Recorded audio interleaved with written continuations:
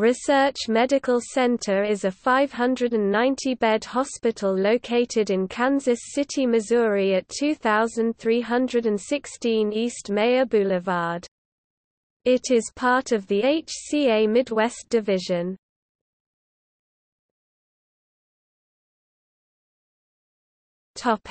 Hospital background Research Hospital is less than two miles away from Research Medical Center Brookside campus.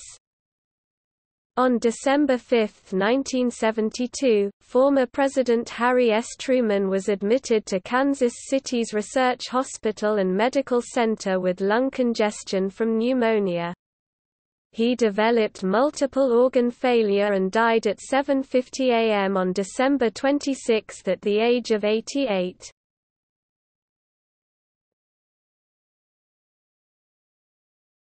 Topic: Removal of same-sex partner from hospital room.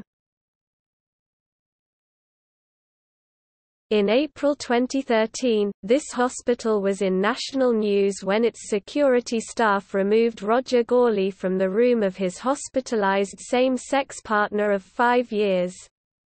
Despite Gorley having status as his partner's power of attorney, he was handcuffed and forcibly removed from the hospital due to disruptive behavior and interference with medical care.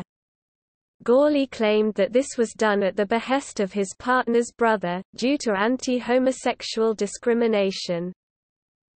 Later news articles reported that both Gorley and the patient's brother had been removed from the bedside at the same time, due to what a hospital statement referred to as disruptive and belligerent behavior.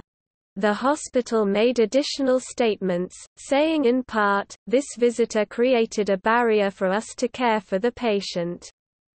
Attempts were made to de-escalate the situation. Unfortunately, we had no choice but to involve security and the Kansas City, Missouri Police Department.